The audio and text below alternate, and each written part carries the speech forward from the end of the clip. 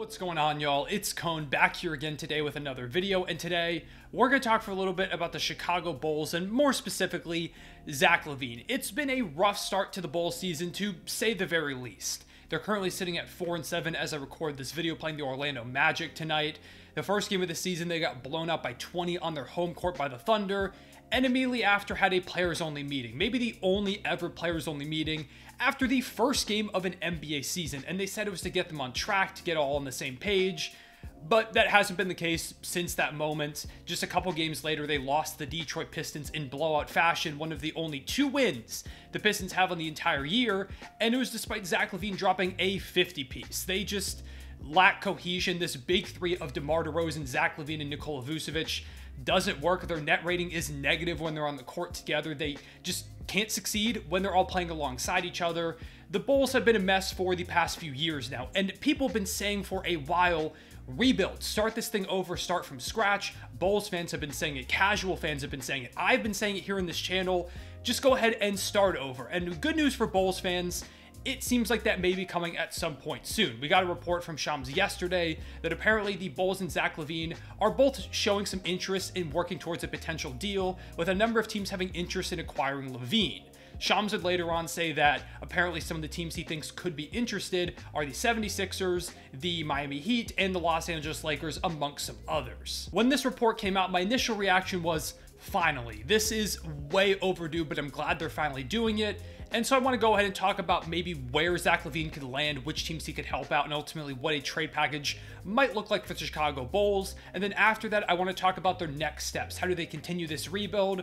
Or are they actually going to go ahead and go down that path? Or are they going to find some way to mess this thing up again? Let's talk about Zach LaVine first. It's been a rough start to his new NBA season.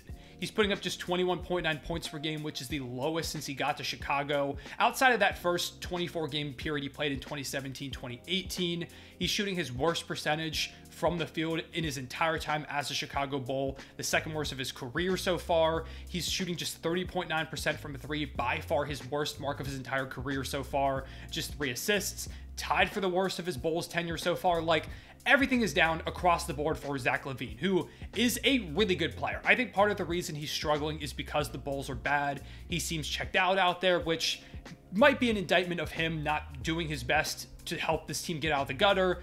But I also think in a new situation, LaVine could certainly be better. It's just been a mess in Chicago for about a year now. He does have some flaws despite being a good player. He's a great offensive player, you know, can put up ridiculous point totals in a hurry but his clutch time offense is a huge concern. He makes some very confusing decisions in those moments. The defense has never been very good for Zach LaVine. And also, when you take a look at teams trying to trade for him, you've got to take a look at this contract, which is huge. He's making $40 million. He's going to continue to do so over the next few years. It's a lot to stomach for a guy who, again, is great offensively, but doesn't bring you much else outside of that at this point. And this is what really complicates this potential Zach LaVine sweepstakes I don't know how many teams are actually going to be interested in him at this point. The Sixers were mentioned, but Mark Stein later on said that he doesn't expect the Sixers to be super interested, which I didn't either. He just gives them another shot creating guard, and he's great. Like, he's going to boost their offense. But with the way Maxey and Embiid are playing right now as the two stars over there on that team, surrounded by pretty solid depth after the Harden trade, I would imagine the Sixers keep trying to go down that path. And if they're going to make a move for a third star next to Maxey and Embiid, I don't think LaVine is the guy to fit that role. I think there's probably someone way bigger out there, a much bigger fish to chase than a guy like Zach LaVine, especially when they're having the success that they are. So to me, the Sixers are pretty much off the table. If they did make a deal, it would probably be like a Nick Batum, Marcus Morris, you know, repackaging some of the assets from the Harden trade as well as those picks which, you know, those picks could be valuable for the Bulls, but it doesn't really get them a young piece unless, say, like a Jaden Springer is involved, and I don't know if the Sixers throw him in because I don't think there's really that much interest in the first place. That leaves the Lakers and the Heat as the two other teams that Shams mentioned. I also would keep an eye on the Knicks as a potential destination for Zach LaVine. Feels like a player that could boost their offense that has really struggled so far. They've been pretty good defensively, but the offense has been inconsistent. Part of that is the struggles of Julius Randle, who's still trying to figure things out. Brunson's been pretty up and down to start the season. Really, the only guy who's been consistent for them has been RJ Barrett. I would assume in a Zach LaVine trade that the Knicks would probably be requested to send over RJ. With the way he's playing, I just don't see the Knicks going for that. I think they'd rather throw in like Evan Fournier's contract, who's making $18 million. The problem is then again, how do you make $40 million work? You would have to probably throw in like a Quentin Grimes and an Immanuel Quickley or one of them and some other salary filler, gutting a lot of the depth that makes you the team that you were last season in the first place. They've got a bunch of draft capital, so they could probably get away with keeping some of their young pieces. But if another team comes along and offers anything substantial, I feel like the Knicks probably get outbid. And again, I just don't know if LaVine's really in their best interest. Then we get to the Lakers and the Heat. The Lakers are another team where a third star might make sense to put next to LeBron and Anthony Davis. You're still relying on LeBron a lot more than I would like at this point in his career. They haven't been great to start the season, but part of that I think has been injuries. And I don't think LaVine's really going to help this team in the way that they need it. If they're looking for a third star, I don't know if LaVine's that guy. Again, when you've got to consider the money as well, because to make it work, you've probably got to give up D'Lo, Rui, and Gabe Vincent, like three of the guys that you re-signed, or Gabe Vincent's a new signing, but three guys you brought in in this offseason who give you most of your depth. If you trade those guys, you quickly run out of pieces to have, you know, at the point guard spot. LeBron can move over to that role, but what do you do with the backup one spot? You lose Rui, who was great for you in the playoffs and has been really good for them recently. Do you really want to give him up as a young, cheaper asset on your team?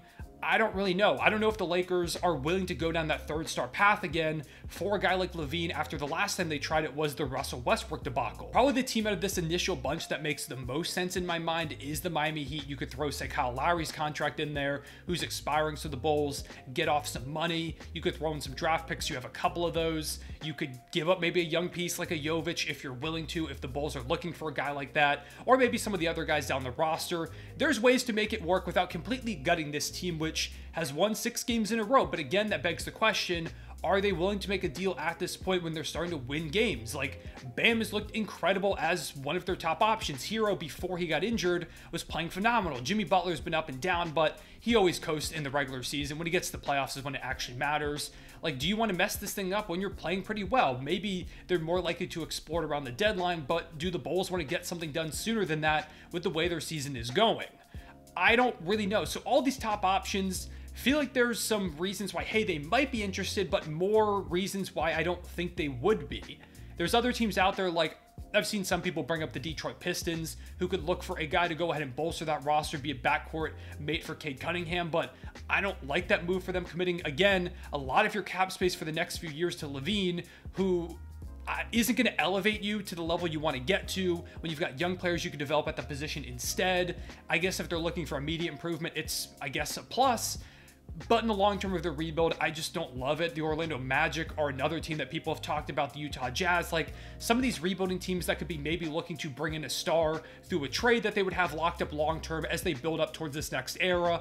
But again, none of these destinations make a ton of sense. There isn't one spot where I look at Zach LaVine and say he is a fit for this team and he's going to immediately make them way better in exchange for the assets they're probably going to have to give up to bring in a contract that's not the best. There's even been some Thunder fans that have tried to convince me that LaVine is the missing piece that we need him. I'm not interested in that contract. I don't think he brings a lot to the table for this team.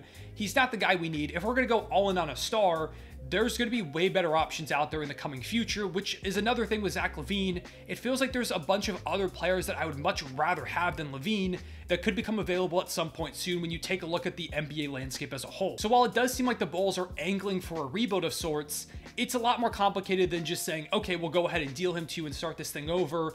Who's actually going to be interested and what is the return going to look like? Because if you ask me, I don't think it's going to be very good, or at least not what a lot of Bulls fans or general NBA fans would expect for a guy in Zach LaVine who has put up some ridiculous point totals, has been an all star, and seems like he could help a lot of teams. I just don't see that value out there for him right now. And to me, this whole thing is a symptom of the Bulls just refusing to do what everybody's been saying over the past few years and start over. They instead have persisted in mediocrity, holding on to that one half season where they had Lonzo, LaVine, DeRozan, and Vucevic, and were the one seed in the Eastern Conference. They were good. Like, that was a fun team, but Lonzo gets hurt, things fall apart, and it very quickly becomes clear that that was kind of just a flash in the pan. The Bulls are never getting back to that spot with this group.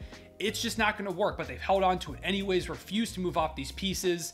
And now it's reached a point where I think a lot of these guys are at an all time low in value in their Chicago Bulls tenures. They're not going to get great returns. And they've kind of punted this beginning of the season rather than trading in the offseason and starting fresh. They instead now have to figure it out on the fly halfway through the season when a lot of teams probably aren't in a spot to go ahead and make a move because they're playing well or they're just not super impressed with what the Bulls have to offer or what they may be asking for. So it's a weird spot. There's also the possibility that the Bulls aren't angling for a full rebuild with this move.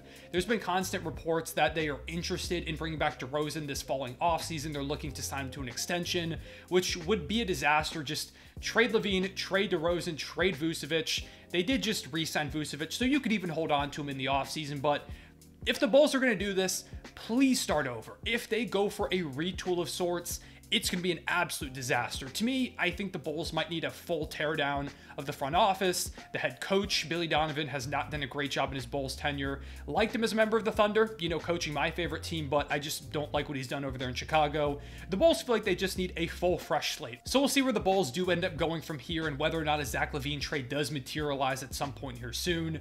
I wouldn't expect a trade until at least a month in the future. December 15th is when recently signed players can be traded, so it opens up a lot more possibilities for the Bulls and other teams in terms of guys they could actually involve in a LaVine trade. So don't expect anything for around a month at the very earliest. And even then, teams might take some more time to evaluate their rosters before negotiating with the Bulls and figuring out if they want to go ahead and add a big star like him mid-season.